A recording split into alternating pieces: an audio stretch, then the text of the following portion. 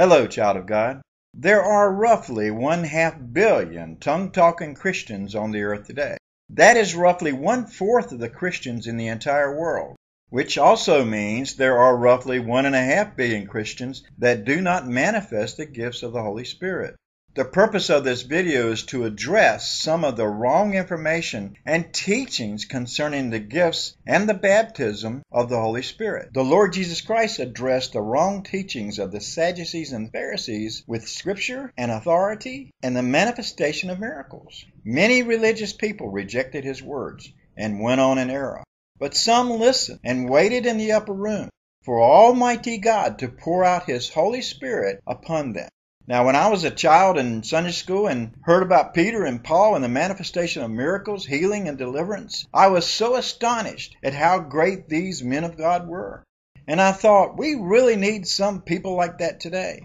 My focus was on the greatness of the men as Christian superheroes. I did not understand at that time it was the Holy Spirit that they were baptized with that was the real superhero living in the body of a plain human, like a hand in a glove. And God's plan is to baptize the entire church with the Holy Spirit.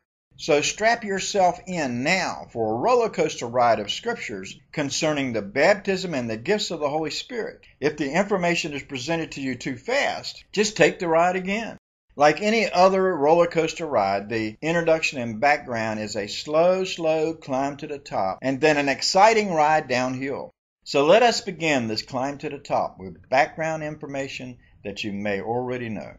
And I'm speaking truth in love when I say that Almighty God wants you to receive the baptism of the Holy Spirit and receive the gift of speaking in other tongues. The scripture tells us a lot about praying for each other and praying often. The scripture also tells us that Almighty God's plan is that each of us pray in other tongues as the Holy Spirit gives us the words. Just think about the advantage to your prayer life as I give you this example. The Holy Spirit speaks to your human spirit and not to your ears, but He tells you to say, Father God, I ask you to heal my mother of the cancer growing in her brain. But that prayer is in a language that you do not consciously know. So your brain does not understand what you're saying. Your mind does not interfere with God's plan by panic or unbelief or pride or the things you do not know or interfere in any other way. Almighty God hears the prayer and instantly heals your mother's brain cancer before it damages her. It is similar to the Holy Spirit sending a secret coded message to Almighty God using your voice. Since God's ways and thoughts are higher than ours, as the heavens are higher than the earth, our thoughts and ways are incredibly insignificant compared to His prayers. Because Almighty God created the real you as a spirit that lives in a body made from dirt. He created you as a special person that He loves, and He wants to be your friend. As you know, your life does not end when your body dies. Your human spirit will continue on, but you will have to account to Almighty God for all of your actions while you were living in your body. Almighty God knew that many of our actions would be so evil that we would never be able to be His friend after our body dies. Almighty God loves you so much that He developed a plan to forgive us and to include us as His friend forever. True Christianity is not a list of rules or religious duties to perform, like bowing, giving to the poor, praying, and kissing the statues. True Christianity is that your human spirit believes in Jesus so much that you accept Almighty God's invitation to be your friend. You accept the invitation for His Holy Spirit to come and live with you in your body. If you do that, then he will give you eternal life as his friend and adopt you like a son. So let's start at the beginning. Within eternity, before anything else existed, a spirit we call Almighty God existed. In the eternal darkness before creation, Almighty God divided himself into three persons. We identify these persons as the Father, the Son, and the Holy Spirit. The person of the Holy Spirit divides himself into seven different manifestations. Hello? Hello. Who made God? Is there one, three, or nine gods? The answer to your question is that there is just one God that chooses to reveal himself to mankind in several different manifestations.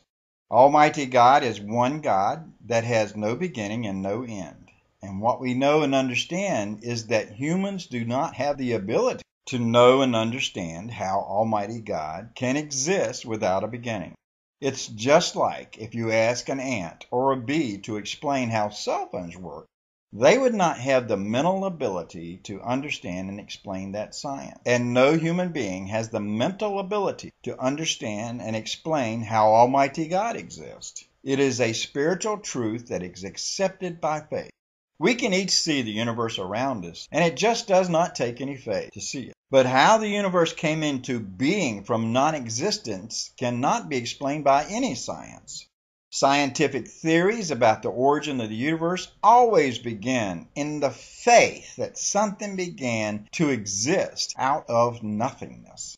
And just as mankind cannot understand and explain scientifically how the universe came into existence from nothingness, no human can understand and explain how Almighty God exists.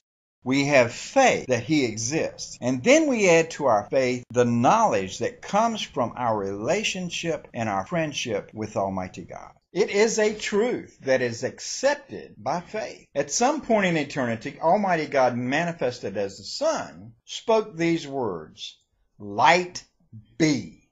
And instantly he created the universe of over 50 billion galaxies, and each galaxy with over a billion stars. And as I said earlier, this is just a summary of events. Within his creation is his home, and we call that place heaven. It could be a planet, but we just do not know what it is. In heaven, he created many other spirit beings to live with him. Each one is vastly different from the other. Most of these we call angels, but he also created other spirit beings we call cherubim and seraphim. During the times of creation, Almighty God created the earth with all the plants and animals. And on the earth he created a beautiful garden. He then created a human spirit person that was a lot like Almighty God. The human spirit is not male or female, but neuter like the angels. Then God took dirt and created a body for that spirit and breathed the human spirit into the body, making the first man. He then put the first human to sleep and took a rib from that man and made a woman. Almighty God would visit his garden in the evenings and walk and talk with the first two humans. Meanwhile, in heaven, one of Almighty God's created beings, a very special cherub named Lucifer, decided that he wanted all of what Almighty God had created. He began to try to be a God higher than Almighty God. Eventually, one third of all the angels in heaven rebelled against God and joined that cherub named Lucifer. Back in the garden, God had created two special trees. If you ate from the fruit of one tree, you received eternal life and you could never die. The fruit from the other tree gave the knowledge of right and wrong. God told the first humans, do not eat from the tree of knowledge of right and wrong. The day that you do it, you will die. The cherub Lucifer came to the garden and made himself look like a snake. As a snake, he told the woman that she could be like God, knowing right from wrong, if she ate from the tree of knowledge of right and wrong. Or, as it is written in the scriptures, if she ate from the tree of knowledge of good and evil. The woman ate the fruit and gave to the man the fruit so that he also ate the knowledge of right and wrong. When God came to walk with them that evening, he knew what they had done. And he cursed them and also Lucifer. And God told them that the offspring of the woman would defeat Lucifer, whom is now called Satan and he's called the dragon. The human couple were sent out of the garden that same day so that they could not eat of the tree of eternal life. And that was the last day they ever walked with God. Since we are created as spirits and live in a body, life and death are really not relative to the days your body has on earth. Life is relative to your relationship with Almighty God. The two humans experienced spiritual death that same day.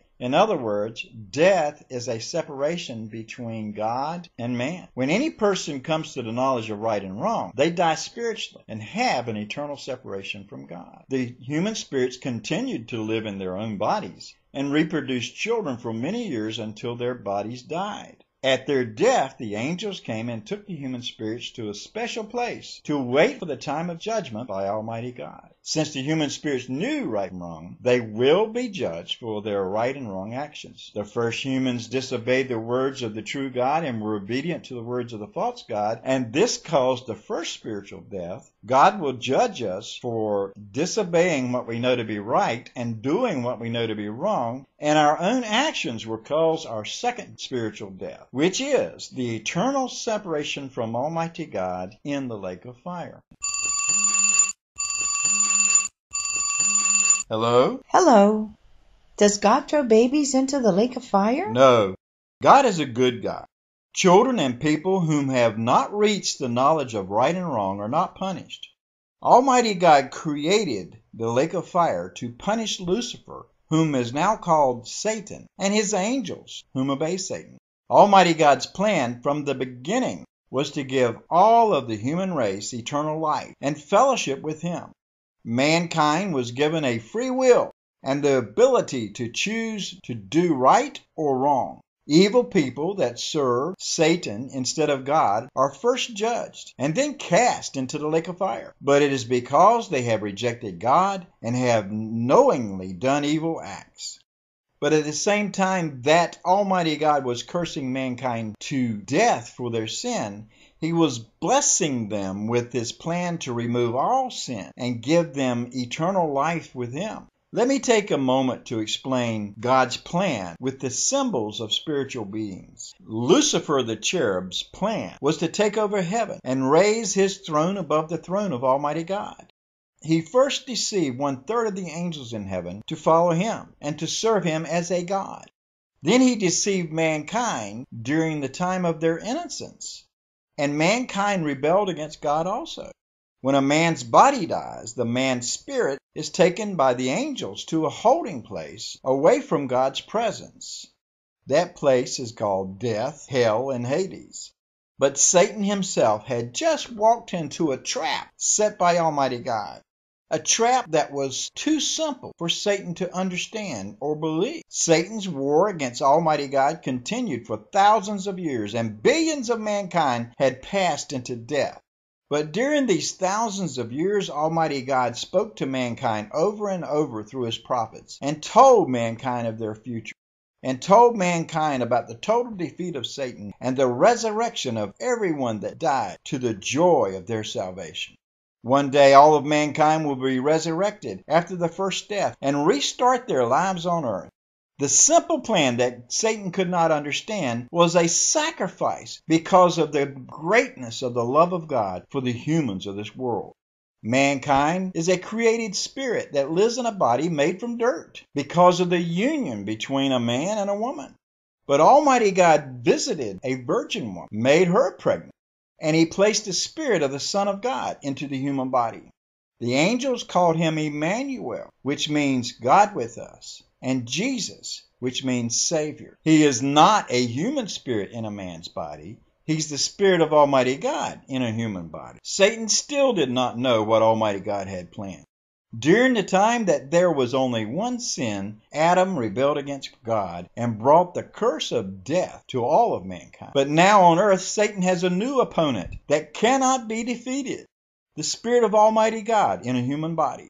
Satan continued his plan in trying to kill all of mankind. And he also made many unsuccessful attempts to kill the man God named Jesus. Finally, in God's perfect time, he allowed Jesus to be arrested and beaten and suffer many injustices. And then God allowed his only begotten Son, Jesus, to be crucified by the Roman soldiers on a wooden cross until he died. This was the sacrifice that totally defeated Satan. Satan had caused the murder of a person whom had not rebelled against Almighty God and was not under the same curse of death as mankind. The victories that Satan had enjoyed against mankind for thousands of years had all just been lost. Jesus was illegally murdered, and his body stayed in the grave three days, and then Almighty God resurrected Jesus from the dead. When Satan caused the murder of Jesus, the curse of God against Satan came into effect. Satan lost everything, all authority and power. and all authority in heaven and earth was given to Jesus. Jesus was given authority to raise the dead and judge all of humanity, and judge Satan and all of his angels. Jesus made a pledge to all of mankind. If anyone would believe that Jesus defeated Satan and was raised from the dead, if they were willing to turn away from doing evil and ask God to forgive them for their sin, then Jesus would forgive all of their sin, and they would not be held accountable for any sin at the judgment. They would be raised from the dead and given a new body and spend the rest of eternity in a joy filled relationship with God. However, the good news is that when Satan shed the innocent blood of Jesus, Almighty God received that innocent blood as payment for all of mankind's sins. However, for a man's sins to be forgiven, that man must believe in what Jesus did on the cross for him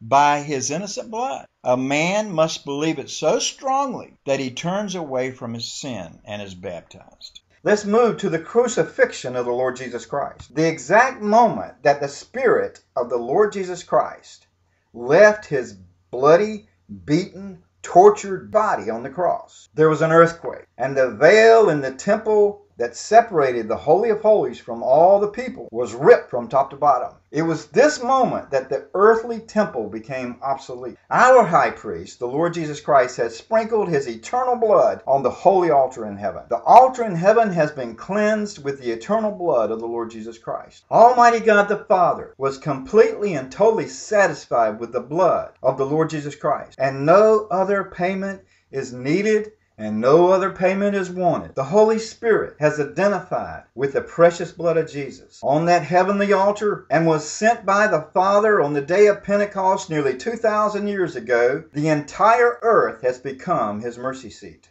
On that day of Pentecost, nearly 2,000 years ago, the apostle preached a sermon from Joel chapter 2, verse 28, concerning one of those Old Testament prophecies about the baptism of the Holy Spirit, saying, These people are not drunk, as you suppose. This is what God meant when he said, On the last day, saith the Lord, I will pour out my spirit on all flesh.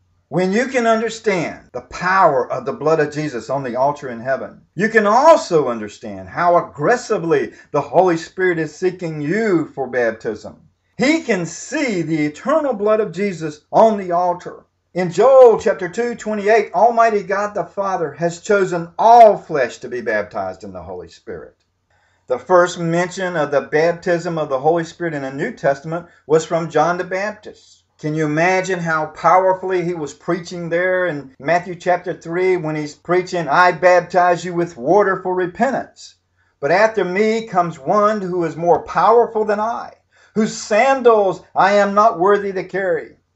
He will baptize you with the Holy Spirit and fire. His winnowing fork is in his hand and he will clear from his threshing floor, gathering his wheat into the barn and burning up the chaff with unquenchable fire. Then Jesus came from Galilee to Jordan to be baptized by John, but John tried to deter him, saying, I need to be baptized by you, and you come to me? Jesus replied, Let it be so now. It is proper for us to do this, to fulfill all righteousness. Then John consented.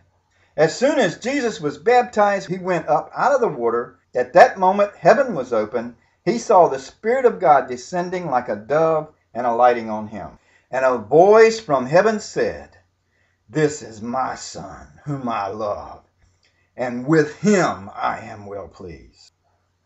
I'll just condense what John the Baptist said. He said, I baptize in water now, but after me, the Lord Jesus Christ will baptize in the Holy Spirit and in fire. Jesus identified with his own death, his own burial, and his own resurrection when he consented to be baptized in water. The Holy Spirit came down upon him like a dove, and a voice from Almighty God in heaven saying, This is my beloved Son, in whom I'm well pleased. Awesome! I think it's also important to note that Jesus sent his disciples out to baptize in water, but he himself never baptized any person in water. When a born again Christian is baptized in water, he's making a public statement to God, to God's angels, to mankind, to Satan, to all the demons, that he is identifying with the death, the burial, and the resurrection of the Lord Jesus Christ. Jesus chose all 12 of his disciples and then breathed upon them the Holy Spirit, commanding them to receive ye the Holy Spirit. This was an infilling of the Holy Spirit for power. But he also commanded these same disciples, minus Judas Iscariot, of course, to remain in Jerusalem until the Holy Spirit came upon them. So now we see Jesus breathing the Holy Spirit upon them when he walked with them, and then later on the day of Pentecost, he baptized them in the Holy Spirit. You do not need a super spiritual, spooky, anointed pastor that can walk on water to pray for you to get baptized in the Holy Spirit. Because Jesus is the only baptizer in the Holy Spirit and not the pastor. Try to keep in mind the two golden cherubim in the tabernacle. Keep your faces looking down at the blood on the mercy seat. Don't let yourself be distracted or redirected from this truth. The eternal God can see the blood of the Lamb on the altar in heaven. He has already sent the Holy Spirit to baptize you. There is no doubt that it is God's perfect will for you to be baptized in the Holy Spirit. It is the Lord Jesus Christ that is your baptizer in the Holy Spirit regardless of the righteousness of the pastor praying for you, it is the blood of Jesus that has made atonement for you. This is also regardless of whether you have stopped gossiping or smoking or any of those other naughty habits that you're struggling with. When you become a born again Christian, you are a sinner that Jesus has washed in his blood. What got you that born again experience was not your own righteousness, but as a gift from God, unearned and undeserved. You simply received Jesus by faith. Your sins are forgiven. Your name was written in the Lamb's Book of Life. You were not required to prove yourself holy or deserving before you received the gift of salvation. So make up your mind now. There is no more payment needed or wanted for you to receive the baptism of the Holy Spirit and the gifts of speaking in other tongues. You're a blood bought child of Almighty God. You do not receive the Holy Spirit because you're doing things right, and you're not rejected by the Holy Spirit because you're doing things wrong. It is the blood on the altar in heaven. Remember Jesus' letter to the church. Jesus is standing at your door knocking. And you must just open and allow him to come in. He does not choose you because of your personal righteousness, which, by the way, is just filthy rags before the Holy God.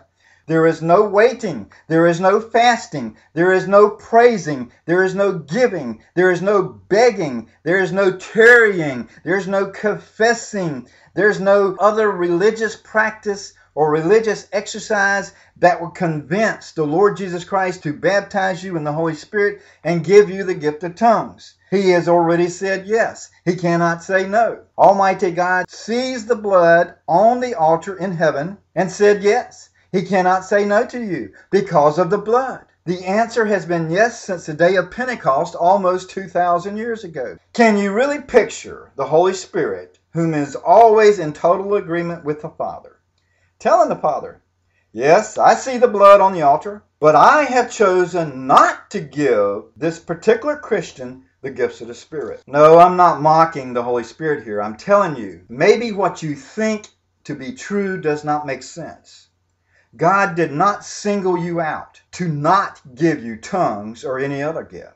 The evidence of God's love is the blood. The evidence of God's covenant is the blood. The evidence of your salvation is the blood. The evidence of God's will is the blood. The evidence God wants you to receive the gifts of the Spirit is the blood. The purchase price was paid. The packaging was paid. The handling was paid. The shipping was paid. And Jesus is knocking on your door trying to deliver the gifts to you.